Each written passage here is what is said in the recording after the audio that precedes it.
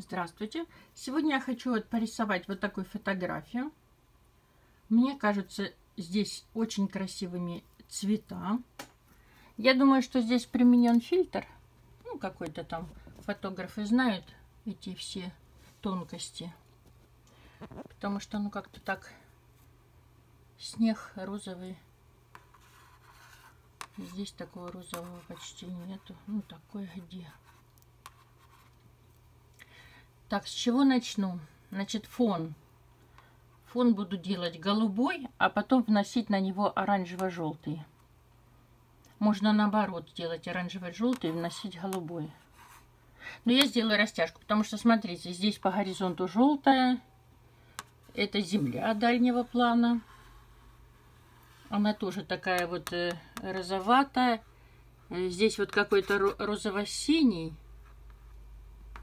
Вот так розовый, вот так совсем, видите, синего. Ну, в общем, как бы в розовый немножко голубого добавлены. Знаете, вот он даже не фиолетовый, он все равно розоватый. Здесь вот дальний план из двух почти ярусов состоит. Тоже вот такой серо-розовый. Потом идет оранжевый, желтый. Потом фиолетовый. И плавно переходит в бледно-голубой и чуть темнее голубой. Значит, если сверху начну голубой, светлее голубой, потом идет э, чуть розовинка, тут фиолетовый. Вот он фиолетовый. Потом тут желтый, совсем яркий, видите? У меня есть желтый средний кадмий. Потом опять оранжевый, и оранжевый уже идет э, в такой в пыльную розу. А это вот розово-фиолетовый тон. Хочу все тона эти выдержать, даже если они вообще вот тут, тут друг с другом не гармонируют. Это как тень, так и вверх. Видите, теневая вот такого цвета. И вот это теневая, ну правильно, это же теневая сторона. Там-то световая вот у домика, а это теневая. Во, видите, правильно.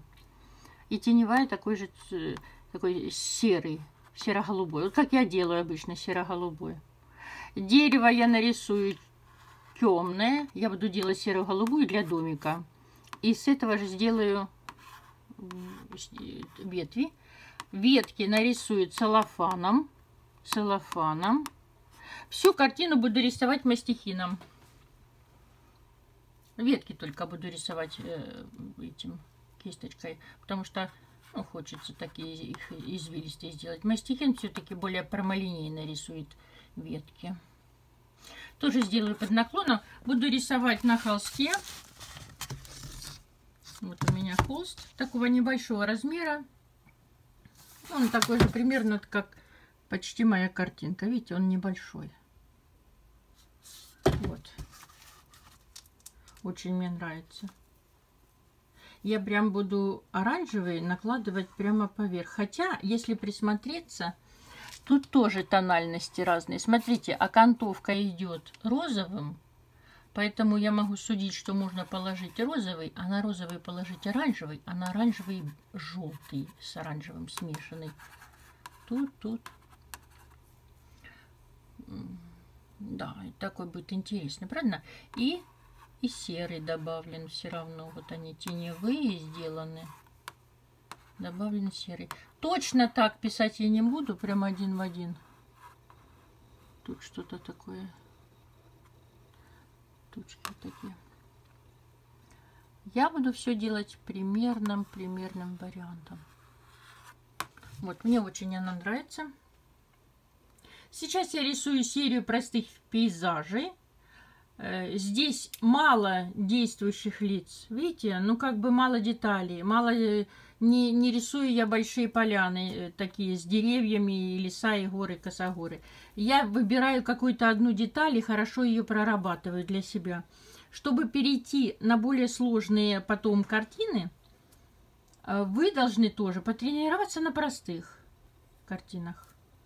Вот это будет у нас такая тренировка прямо на холсте. Хотите это на бумаге делайте, хотите на холстах, в общем, что у вас есть я начала делать фоновую часть. Я смешала голубую ФЦ э, с белилами, сделала растяжку э, к низу более светлый вариант.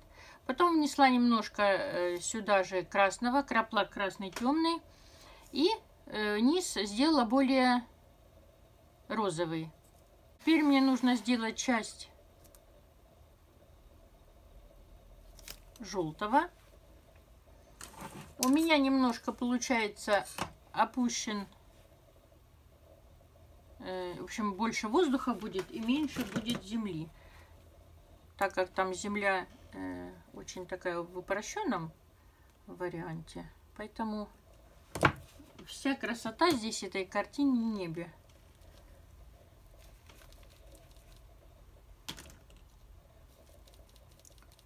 Вот я налила масло, крышечку маленькую, и буду ее использовать. Э, потому что вы меня спрашиваете, много ли идет масло э, для работы, и насколько мне хватит этого, ну, вот, э, вот этого тюбика. Бывает, что даже на полгода мне хватает, при том, что я интенсивно работаю. Вы даже не будете обращать внимание, что он у вас расходуется, это вот масло.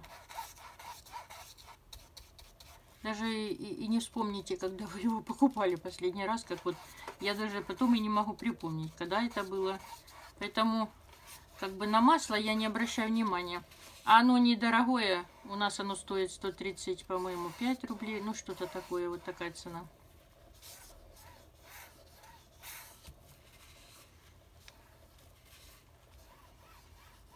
Можно растушевывать кистью, можно пальцем. Палец я вытираю в бумагу. Точно так же, как и кисть вытираю. Ну, естественно, кардинальные тона я не вытираю. Видите, вот я пользовалась здесь. Вот этой кистью. Я ее не вытерла. Я ее поставила в подставку. Взяла другую под желтую краску.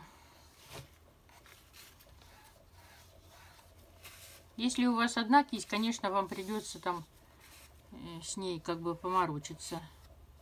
Ну и тоже э, ничего не нужно там растворить или охмыть.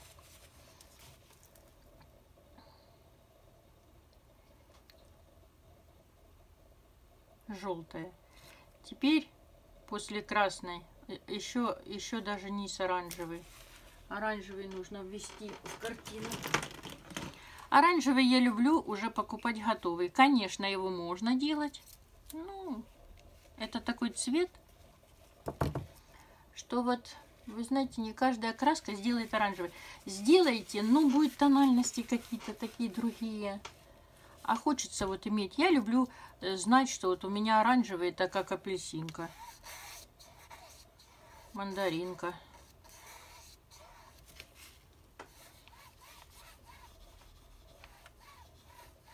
Видите, я прокрашиваю их полосками а потом вот так соединяю. Это будет низ. Так, теперь идет переход в пыльный тон. Опять-таки у меня серо-голубой. Я вот, смотрите, видите, эту, эту ставлю. Она мне пригодится на тучи.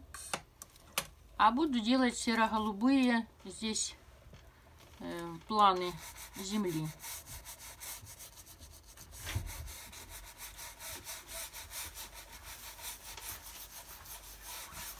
Ага. Здесь даже интересно получается разные тона. Мне э, на картинку разные тона выкладывают. Единственный недостаток в натуральных кистях, они ломаются кусочками маленькими, вот сламываются. И на картине нужно все время смотреть, чтобы не попадались эти мелкие ворсинки.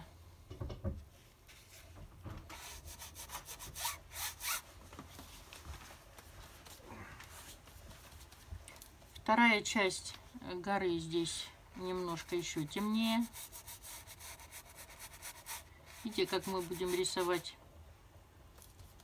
такие горки, затемняя и к низу высветляя.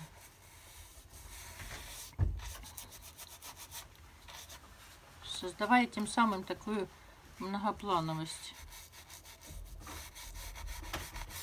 Так. Чуть-чуть вот Здесь у нас домик будет серо. Тут у меня такое серо тоже голубое и, и, и фиолетовое. Вот видите, как интересно тут тонами можно поиграть. Даже пусть не, не попаду четко там по тональности, но такое что-то примерное ощущение у меня будет. Значит, тут надо придавить э, край горизонта, придавить, чтобы два кардинальных тона оранжевый и серый тоже, тоже так между собой срослись. Но вот так растушевывать нельзя. Значит, если так, я грязь понесу. Только вот так по линии э, написания вот этого горизонта. Там у меня внизу э, от карандаша осталась эта полосочка. Я буду ее... Значит, руку надо вытирать тоже, потому что если... Смотрите, я вытираю, вот я рисую рукой, видите? У меня нету таких э, сильно... Э, светлые тона так вообще не дают э, на, на пальцы грязи. Только если черный, синий, вот они э, очень такие броские тона. Вот я также вытираю, потому что рисую руками. А это, представьте, я, бывает, по 4 часа рисую, у меня растворитель будет пахнуть, у меня руки будут здесь с растворителем, кисти, ой, в общем, даже не хочу я об этом и говорить. Масло, оно не пахнет. У него запах, ну, какой тут? Ну, запах так масла такого, знаете, как, ну, не знаю, даже не машинного, ну, просто вот какой-то такой запах. Ну, оно же натуральное, в нем ничего нет. Четыре года срок хранения, пожалуйста, вот состав масла льняное. Видите, никаких ни растворителей, ни, ничего э, не вредно. Экологически чисто считаю. Тем более, как сейчас это все стремятся к, орган, к органике, там, питанию, и, и это будет органик. Вот у меня, считайте, картины будет органик все. Очень даже полезные. Ну, не вредные, во всяком случае. Ну, насколько можно. Пусть тут пигменты какой-то там дают э, своеобразие. Но они дают только при рисовании. Тут мы к ним прикасаемся. А если будет картина висеть, это все будет э, довольно-таки невредное. Вот она, э, значит, сильно заросла краска, да? Вот, и мне нужно ее поменять. Вот я ее вытираю всю с нее снимаю густоту. Она-то в голубом тоне, но она не несет уже много краски. Я уже могу сделать здесь вот розовый тон. Вот розовый, вот мне надо чуть даже темнее, чем вот этот. Краплак красный. Вот, это что масло касается.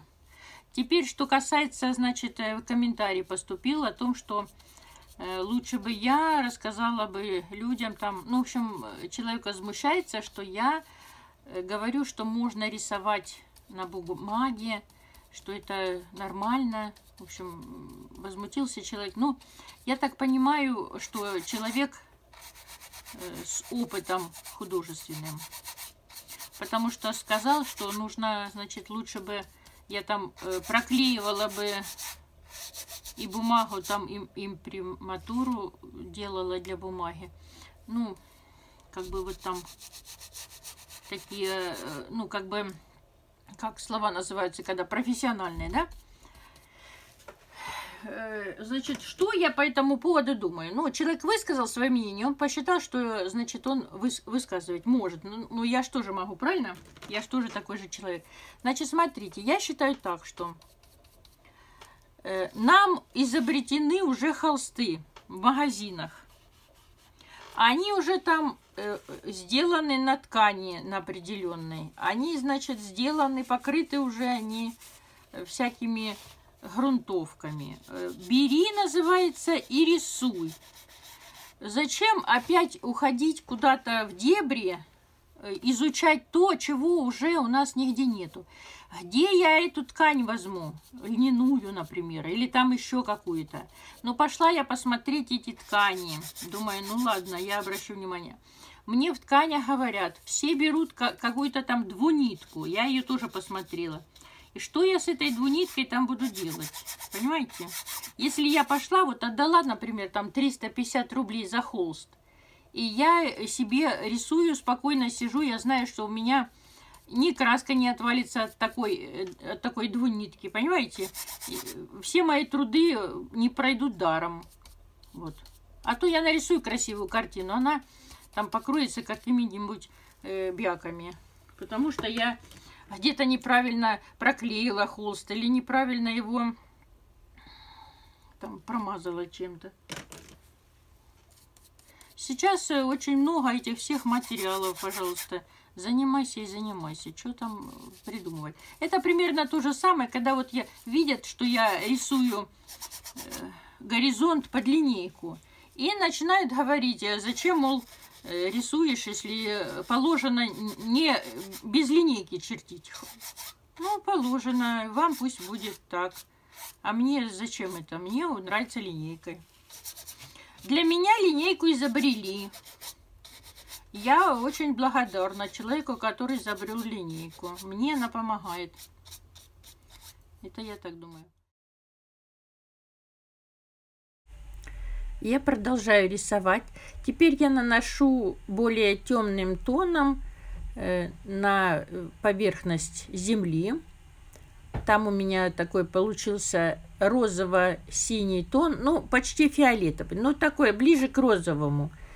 Э, две краски, а вот тональности можно придумать и чернильный, и фиолетовый, и розоватый. Ну, пурпурный, наверное, называется. Я э, знаю, что много всяких э, таких вот там фуксия. Ну, все, все это э, такие, знаете, розовато-синеватые тона. Вот от количества синего и, или красного названия другие. Вот я делаю углубление. Теперь я начинаю рисовать домик. Домик я буду рисовать э, темно-серым цветом. Я его сделала из э, коричневого. Я брала умбруженую. И из голубого ФЦ. Ну, это синий цвет. Ну, можно брать любую синюю, любую коричневую. Ой, ну да, любую синюю, любую коричневую. Получается э, такой сире, сире, сиренево, нет, не сиренево, серо-голубой тон в разбелье. А когда ее не разбавлять ничем, она почти черная. Эту краску я часто применяю в картинах. Э, применяю, рисую и, и этой краской веточки.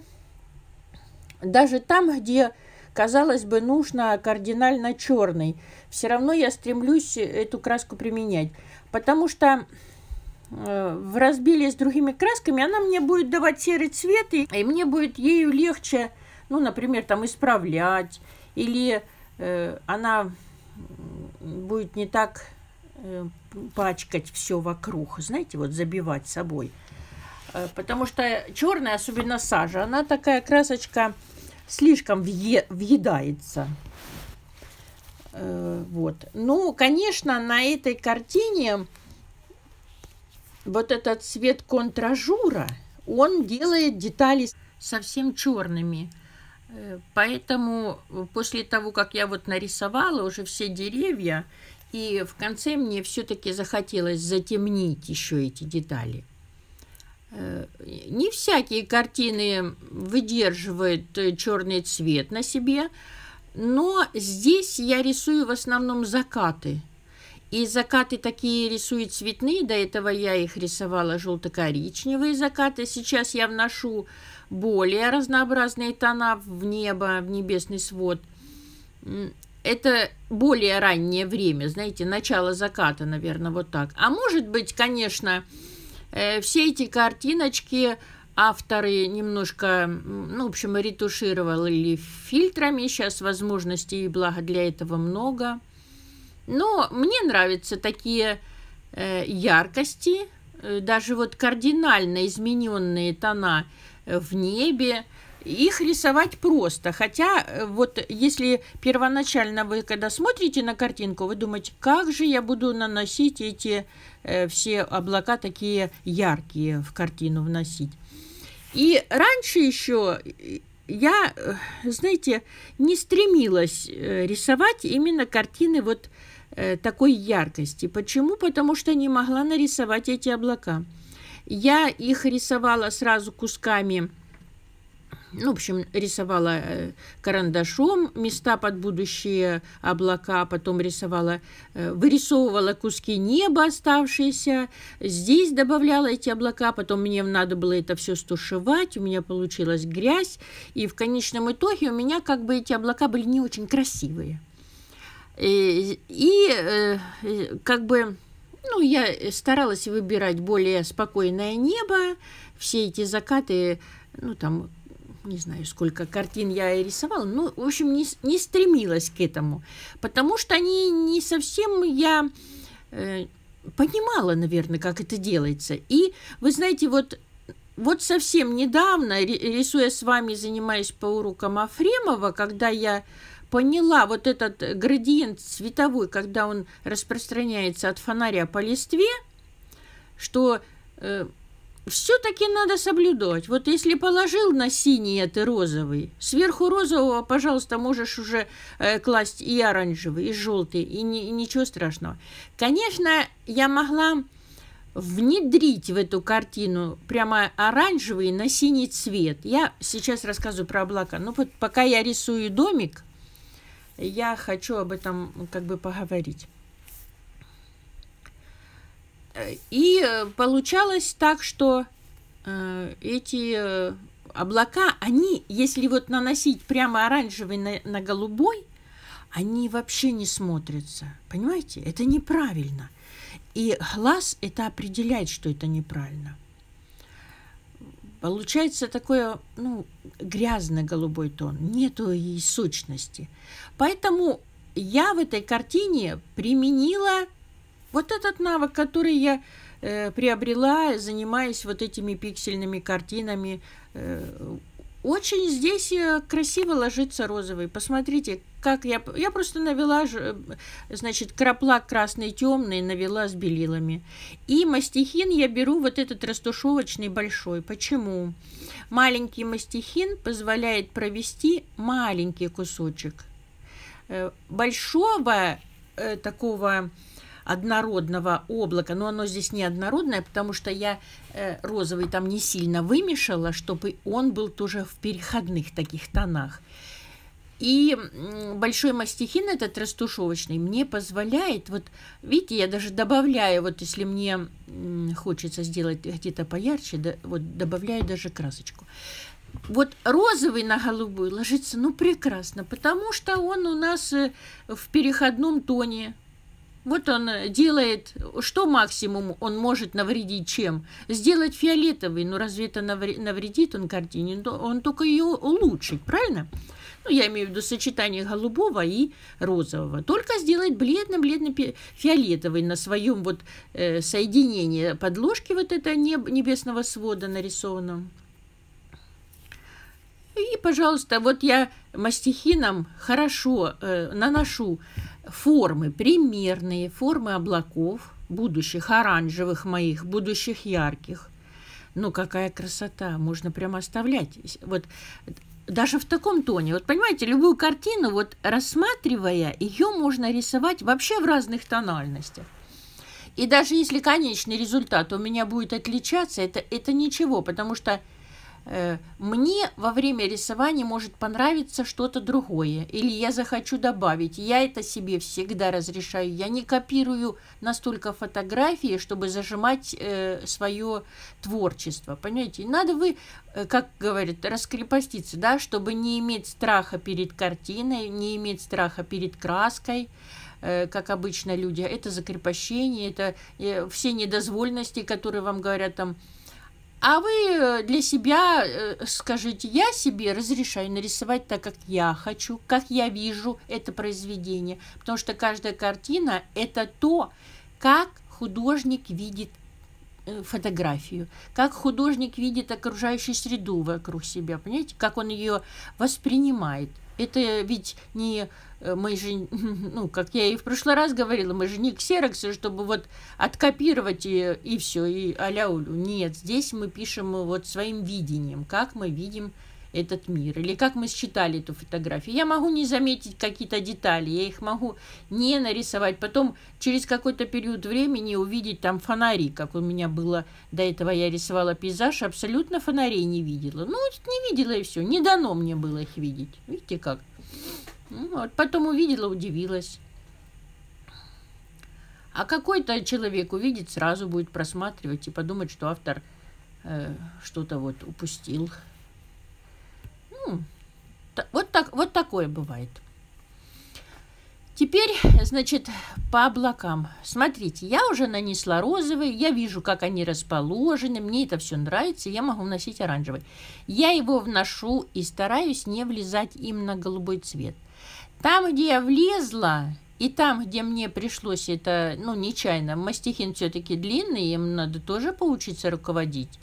И э, он зашел у меня на синий. И я вижу, как этот оранжевый, э, просвечивая синий, становится, ну, не очень красивого цвета. А тот, который лежит на розовом, очень красивый, очень светится чистотой своего тона.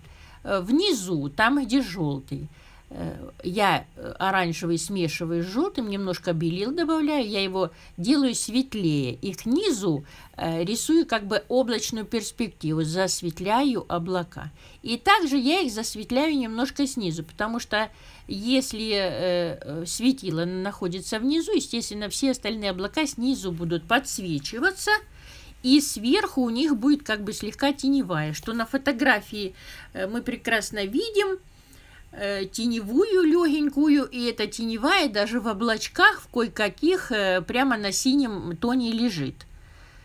Э, сейчас смотрите, я нанесла все э, детали и разглаживаю краску. Э, мне нравится, можно оставлять вот э, э, детали фактурные, если вы хотите. Я разглаживала, э, придавливала и как бы сращивала два тона, делала это Э, одно облако. Э, вот я сращивала э, оранжевый и розовый. У меня получалось это облако такое немножко выпуклое, выпуклое цветом оранжевым к нам сюда, ну ярким. Теперь я взяла там серый тон кисточкой легкими прикосновениями, ш, ш, такими штриховательными движениями. На кисточке очень мало краски, мало. Здесь я ее как бы слегка в голубой втираю, потому что это мне хочется иметь облака в виде таких, ну как бы дымочка, дымочка такая, дымочка легкая. Э, вот. Чисто интуитивно где я хочу, по верху, по, по над э, верхней частью облака или на голубом тоне, я проставляю пятнышки. Чисто интуитивно. Я просто вижу на картинке, в какой стороне их больше, и рисую образом, то есть я цветом рисую. Даже не, не образом самих э, э тучек, сколько всем, всей картиной. Я вижу картину целиком. Тем более здесь картина небольшая, ее хорошо просматривать. Для этого художники прищуриваются, отходят. Я снимаю очки, у меня зрение сразу э, размывает мне картинку. И, и здесь я рисую не, э, не самими, э, в общем, этими контурами как бы э, вещи, а рисую всей, э, всем цветом смотрю на картину всем цветом. Где у меня этих темных пятен больше на картине, где меньше. Понимаете? Получается очень так интересно. И э, так легче проставлять теневые. Вот прищуривайтесь, э, снимайте очки, отходите от картинки. Ну, э, отходить, подходить, это, э, конечно, хорошо, но для меня это когда человек стоя рисует, он делает шаг назад, шаг вперед, для него это э, как бы физически возможно. Я же сижу на стуле, мне нужно его отодвигать, это надо картинку ставить прямо, поэтому я вот пользуюсь вот этим методом, я э, снимаю очки, прищуриваюсь, и мне это то же самое удаление. У меня все размывается, и я вижу только э, тона этих самих пятен, пятен, тона пятен. Вы даже тучки будете видеть пятнами, и вы легче вам будет смотреть, правильно ли вы их расположили. Теперь я начала рисовать скелет дерева. Э, я его рисую, а, опять же, этой серой краской. Я подготавливаю этот скелет под рисование э, целлофаном. Я вырисовываю только центральную большую ну, ствол и центральные большие ветки. Слишком э, мелких я не рисую.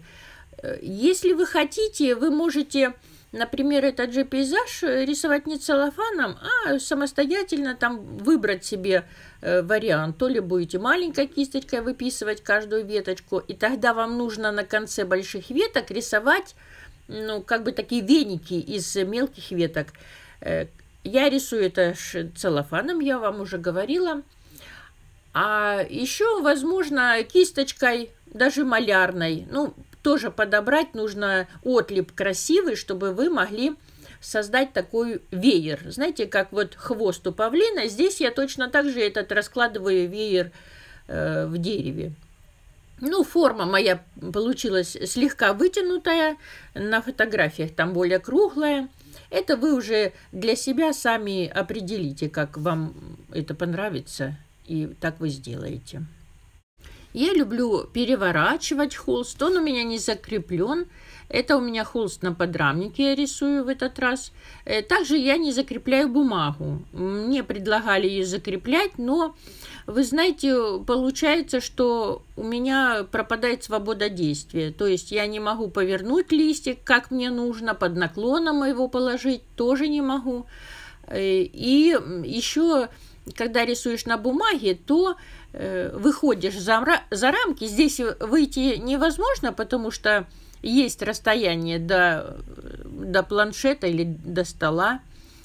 А на бумаге, конечно, я пачкаю планшет, поэтому э, я все время его вытираю. Мне, представьте, если я прикреплю этот листик, я вокруг картины напачкаю, и у меня глаз будет видеть неправильность изображения все время мне будет сигнализировать, что у меня там начеркано не так, как нужно. Вот понимаете, я вытеру, и у меня квадрат э, получается четкий, и я в квадрате вижу само правильное изображение.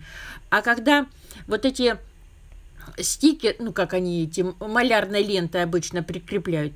Я эту малярную ленту, она мне все время перед глазами метелится. Потом вот эти полоски разного тона, разных красок, грязь создавшие э, вокруг э, затем, ну, в общем, портят мое вот изображение, видение чистоты, потому что э, картина все время прибирается, чтобы не каких-то пятен лишних тут нарис, не нарисовать. Как э, тучи должны не рисоваться, вот, например, э, туча нарисовалась и заканчивается сразу при, в общем, ну, с краю картины. Нет, она бывает так, что она в край картины входит, например, своей серединой.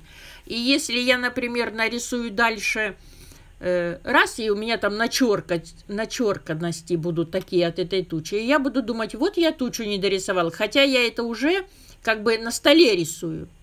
Поэтому ну, в общем, вот это может быть моя особенность. Но мне вот эта вот грязь, которая вокруг картины создается, если я ее при, приклею, этот листик на скотч или на малярную ленту, я его приклею, мне будет все время не хватать вот чистоты. Поэтому я вот этот планшет мне позволяет, тут пленка, я ее вытираю, и у меня все время образ вокруг картины все время чистый, и я вижу, где у меня вот, ну, в общем, так, такая вот недостатки меня эти, ну, как бы не, не в хорошую сторону э, при рисовании.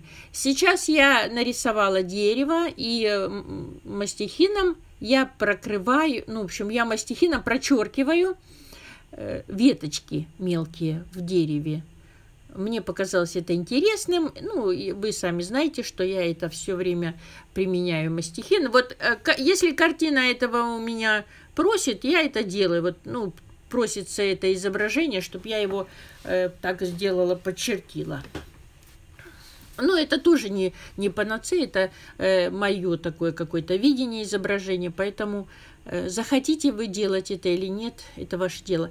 Также картину, э, эти деревья вы можете просто рисовать темным цветом, ну, выбрать какой-то другой черный, не сажу, хотя можно и сажу, если аккуратно. Аккуратно. Значит, я уже вам говорила, что отлип от э, полиэтилена или салофана вы делаете, э, как будто вы одним ударом ударяете, но не протягиваете в это время пленку. Если вы протянули, вы смешиваете цвета, и у вас получается тут же грязь. Э, цвета нужно просто удар и отлеплять, отлеплять. Вот что на удачу получается, то получается. Если делаете это сразу и не жалеете краску, нанося на тампон, вот я не жалею, я прямо э, с густком это делаю, тогда получается очень красивый отлип. Похож на веточки, на массу веточек, вот этот на веничек, который отходит от ветки, и в конце всегда такие веники из мелкой э, этой, из, из мелких веточек. В общем, красиво получается. Я добавила блики на крышу дома. Также я добавила блики по дорожке, потому что мне захотелось здесь э, объединить картину, не только сделать внизу такой фиолетово-розовый тон и все, а все-таки захотелось сделать такое ну, объединение, такой яркий, э, яркий закат верха, Пусть у меня будет такой небольшой дорожкой световой, даже если у меня здесь сам диск солнца не нарисован, а, а как бы вот остаточные явления, или оно у меня где-то там спрятано. Ну, в общем, не, нарисов, не нарисован диск солнца. Хотя можно здесь его нарисовать, пожалуйста, вот э, в, желтом нарисовал, да и все. Ну, в, в общем так, без диска. Может, он где-то дальше на картинке. Я имею в виду, ну, как бы не вошел в, в квадрат фотографии. Но я все равно сделала эти блики. Они сделаны не по, не по всему бугру, а только на каких-то таких местах, на вершинках. Вот я представляю, что у меня же там все равно неровности. И вот поверху этих бугорков я пустила. Э, для меня сразу картина такое объединение получила. Также я изменила цвет Э, крышу я сделала э, такими, как бы, этими черепичкой такой сделала. В общем, оранжевый прошла, там я желтый добавила, немножко украшалочек. Это уже идет чисто интуитивное рисование.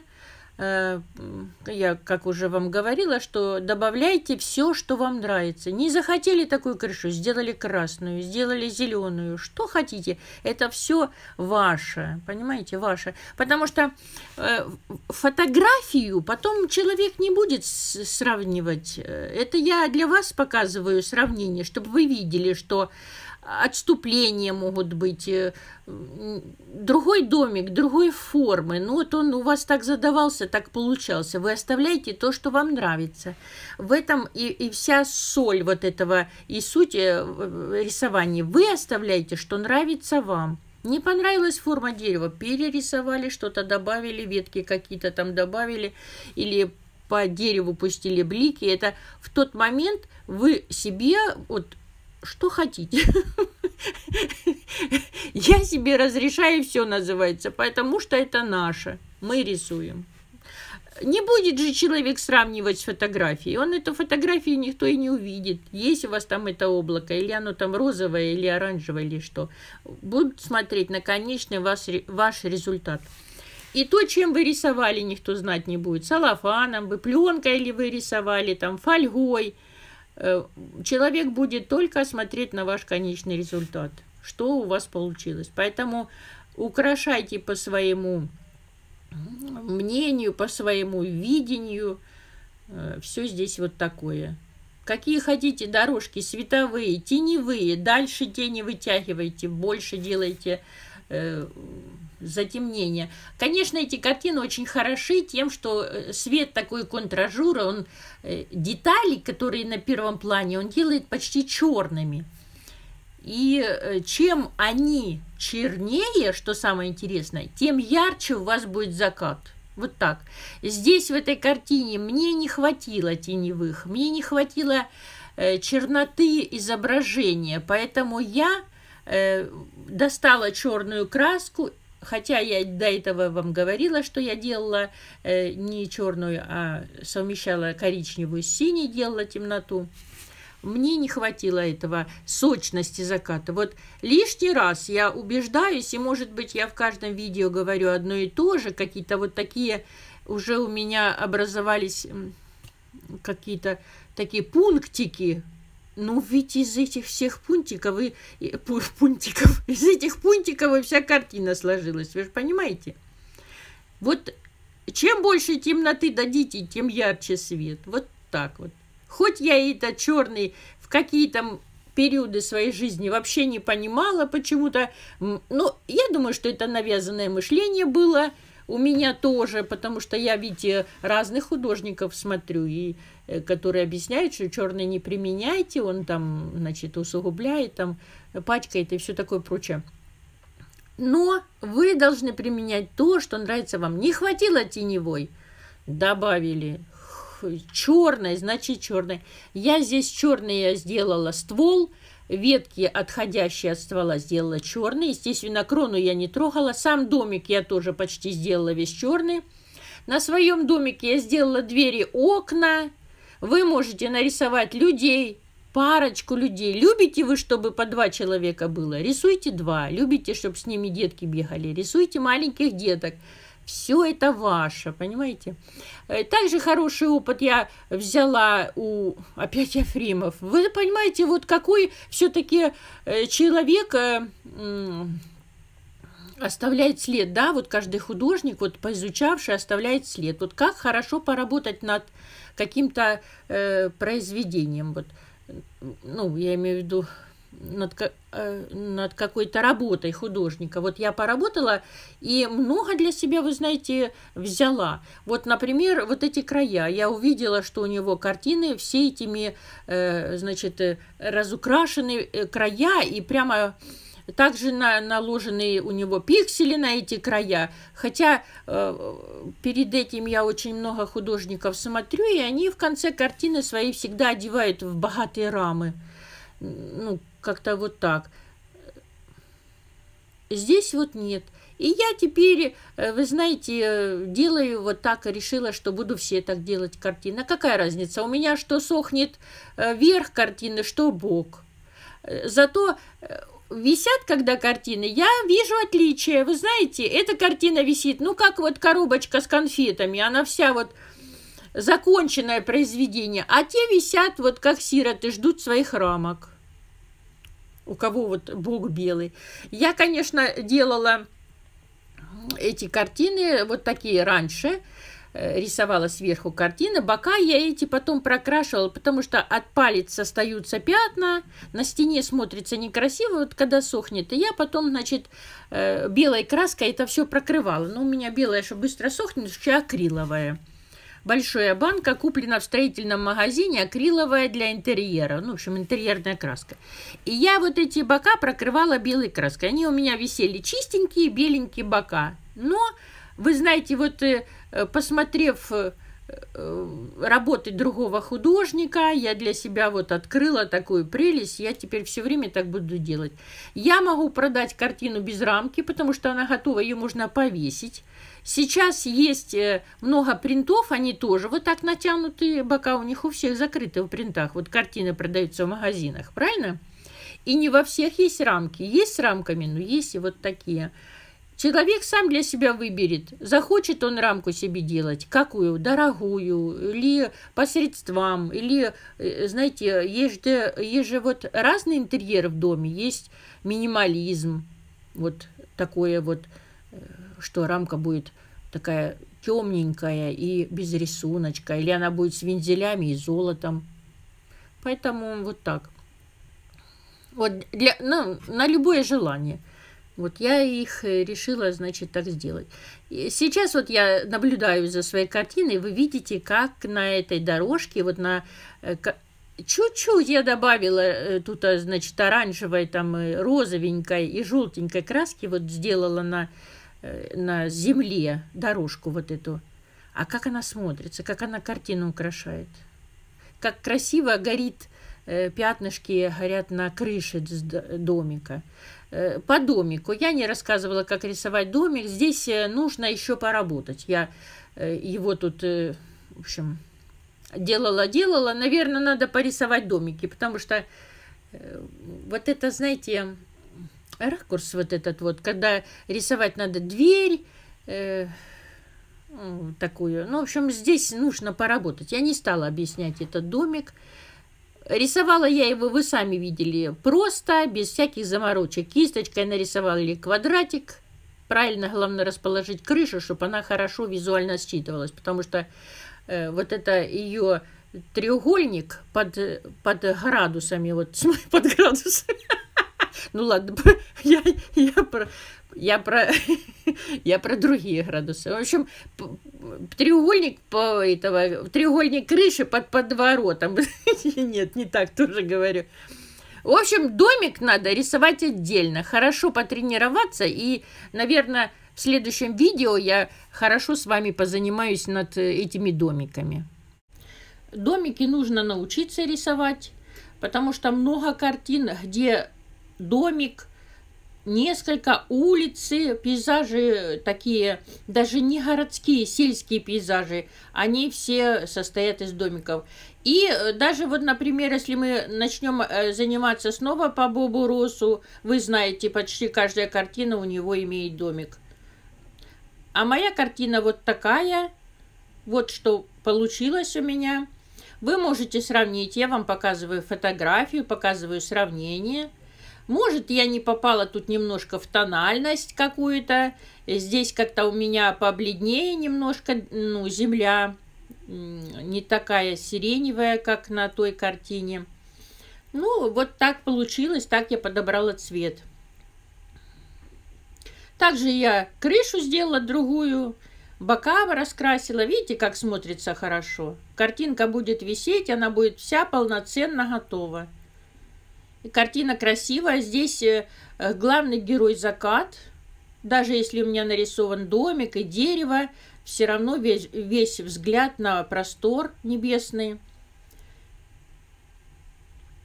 Буду рада, если вы мне напишитесь, понравилось ли вам это занятие и картина.